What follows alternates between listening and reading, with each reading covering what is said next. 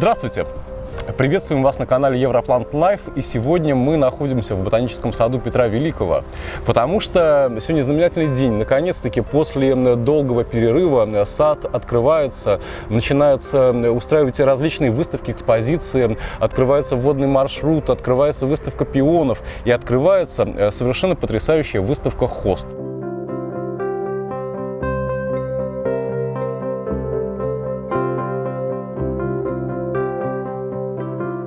И сегодня у нас в гостях мадам Хоста как ее знают э, большинство любителей хост, э, потому что это поистине человек, э, увлеченный коллекционированием, он знает о хостах все. И сегодня мы, во-первых, хотим проанонсировать эту выставку, потому что, ну, рассказать все мы вам не сможем, вам обязательно придется все-таки прийти. Поэтому сегодня первый вопрос. Во-первых, здравствуйте, Оксана. Добрый Раскроем день. тайну вашего имени. Да. Оксана, расскажите, когда откроется выставка, во-первых?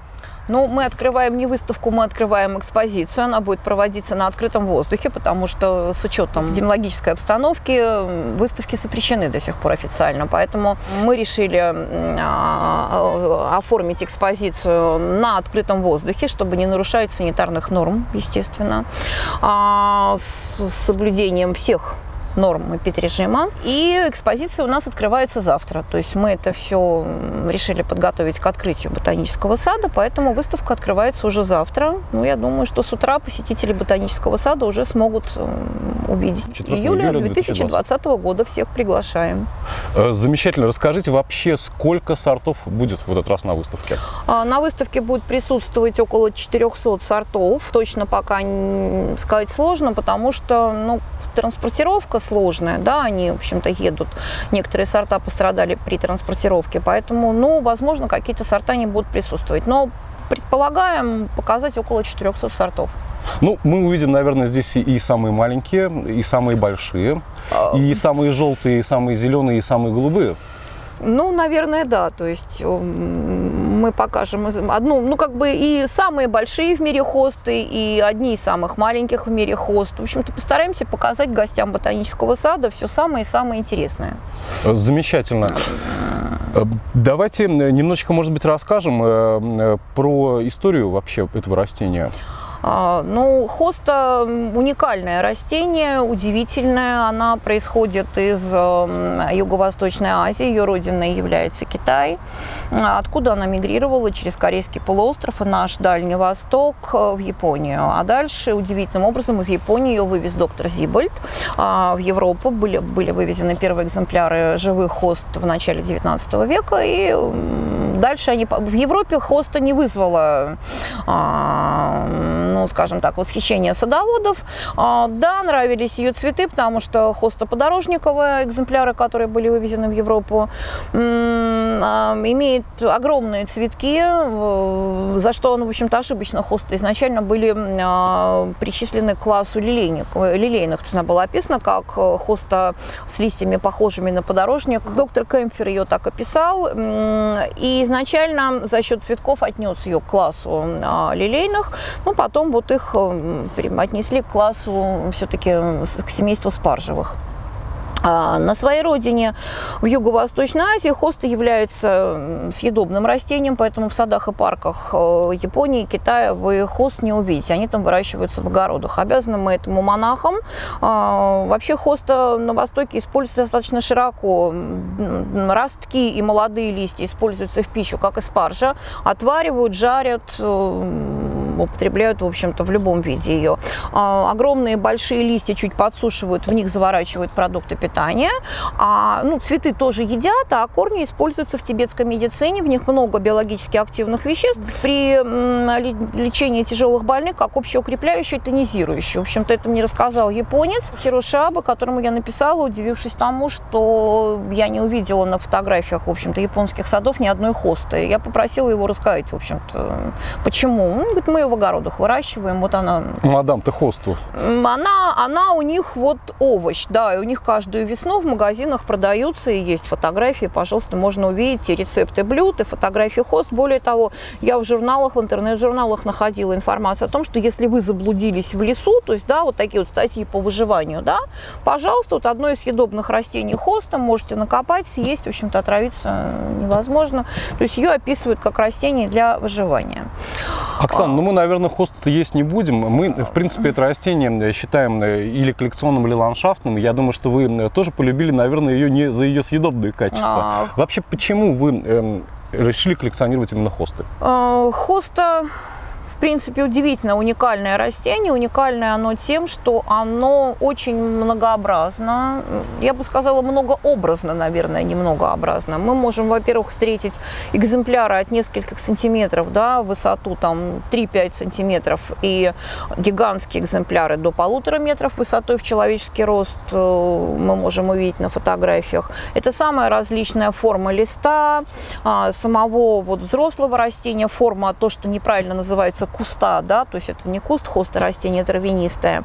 Это самая различная фактура листа, как можно увидеть, да, и вафельные листья, и гладкие листья, и матовые листья. Вот мы сейчас с вами пройдем голубым хостом. Очень она вариабельна по цвету, при этом умудряется жить, да, вот выживать с практически абсолютно белыми листьями, приспособившись к этому, э, скажем так, издевательству со стороны генетиков, потому что, конечно, в естественной природе естественный цвет листьев, он зеленый. А, но усилиями селекционеров, усилиями генетиков цвет листьев хоста изменен от э, темно-зеленого до практически белого. Мы можем встретить все оттенки зеленого, светло-зеленого, салатового, шатрезного, нежно-голубого, голубого, желтого, ну, вплоть до практически белых листьев. Ну, об этом мы поговорим чуть позже позже. Я думаю, что вот да, здесь можно хорошо увидеть, вот э, здесь вот одна из самых вафельных в мире хост, да, абсолютно такой лист, вот жабка такая, вафелька-вафелька, да. А вот это очень интересный сорт, он называется чайная ложечка. Если вот покрупнее снять, а здесь есть зубчики по краю, вот они хорошо видны, то есть э, вроде ровно, то есть может быть абсолютно ровный край, а вот это вот зубчатыми листиками. Ну, вот мало того, что темная, она еще гладкая такая, очень красивая. Вот все-таки, все-таки хосты с, вот, со светлой каймой нуждаются в притенении, потому что на солнце кайма горит. А, вот, пожалуй, самый красивый экземпляр на этой выставке. Э, Tropical Dancer. Изумительно очень красивый сорт, мне он очень нравится. Но такую белую кайму сохранить можно только при вот, э, как это говорят садоводы, танцы с бубном. Да? То есть конкретно вот этот экземпляр выращен в теплице, конечно, с защитой от ветра. Хосты очень не любят не ландшафтный экземпляр. А, вот этот, этот сорт не для ландшафта. Нет, его можно вырастить в ландшафте, но вот конкретно вот это выросло на улице, и вот то выросло на улице. Этот сорт называется северная экспозиция, а этот сорт Orion's Belt, э, они выросли на улице, но вот эти сорта все с белой каймой, они нуждаются в хорошем притенении, фактически абсолютно полностью северная стена дома, да, то есть, ну вот, э, в глухой тени и защита от ветра. То есть центр горит меньше, чем середина. Великолепный американский питомник, больше 150 сортов они а, нам подарили. Если вы видите приставку Lucky Side, то есть это всегда маленький шедевр, то есть это абсолютно узнаваемые, вот правило 10 шагов, да, это абсолютно узнаваемые, а, абсолютно отличные друг от друга сорта. Основное правило питомника – стабильность роста, то есть, да, растение должно быть не капризным, стабильно хорошо расти. Поэтому вот, да, такой хороший представитель вафельности. Это же подниму, это шкура носорога, это хоста сам, ну, одна из самых толстых, 0, 43 или 45 миллиметров, толще только голубой носорог. Ну, улитки его тоже, конечно, едят. Наши улитки все проедят. Ну, вот, вот, вот перед вами э, хоста с одним из самых толстых листьев. Ну, вот эта вот история, что самый страшный враг хоста это улитки. Это это правда? так. Ну, страшнее, конечно, олени и коровы, потому что, да, ну, то есть они... олени и коровы улитки, редко улитки... заходят на, в наши у нас, сады. У нас нет, а в Америке да. То есть вот поэтому у них даже есть репелленты для отпугивания оленей и так далее. Поэтому вот. А вот здесь, вот если мы на этом столике посмотрим, да, тоже хосты с достаточно узким лицом, э, листом, пожалуй, вот хосты с самым узким листом это вот тортифронс, либо э, кагараши Боши. Собственно говоря, между этими двумя растениями можно поставить знак равно. Это осенний ветер в переводе с японского. Ну, иногда их продают как абсолютно разные растения. А, разная кагараша накафу, немножко другой сорт. У нее появляются к осени зеленые, желтые полосы по листу. Вот, осенний ветер, потому что вот так вот закручивается еще листик, хостом свойственно. Ну, в общем-то, имеет закручивающиеся листья, потому что вот здесь вот мы видим э, еще и волну по краю листа, что тоже, в общем-то, вот это вот валейс рафл шафл, да, вот э, волнистая хосточка питомника. Валейс. Вот они вот с узким листом. А вот у вас за спиной, сейчас мы повернемся, покажем зрителям. Пойдемте, пройдем. Ну, вот это вот великолепнейшая хоста «Молящиеся руки», прекрасный экземпляр, а, выращенный для выставки в ботаническом саду. То есть такой вот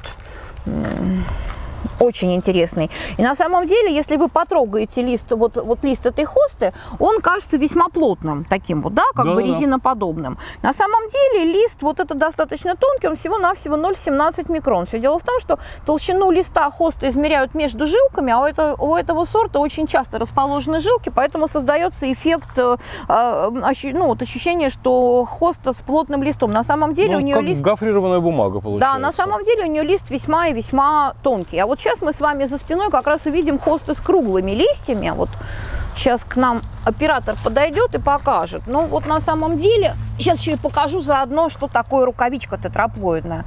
Вот это сорт нет, антиди, тиди. Значит, э, абсолютно круглый лист, причем если вот мы увидим, вообще тенденция к тому, чтобы он был даже поперек себя шире, да, то есть такой, наоборот, вот э, овальный в эту сторону. И вот можно на листьях увидеть вот, вот такую вот вещь, да, листик как вот как палец у рукавички, здесь и здесь. То есть это не разрывы. Ага, то есть это никто не проел. Нет, это признак тетраплоидности. То есть вот такой вот симптом рукавички встречается у тетраплоидных сортов. То есть мы это можем увидеть не только на этом сорте.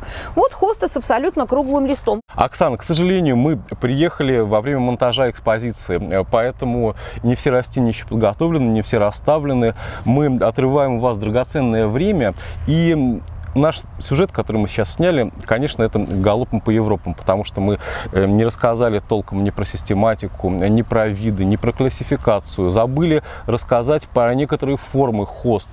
Но я надеюсь, что мы с вами обязательно встретимся, покажем и расскажем чуть подробнее про все ваши замечательные растения.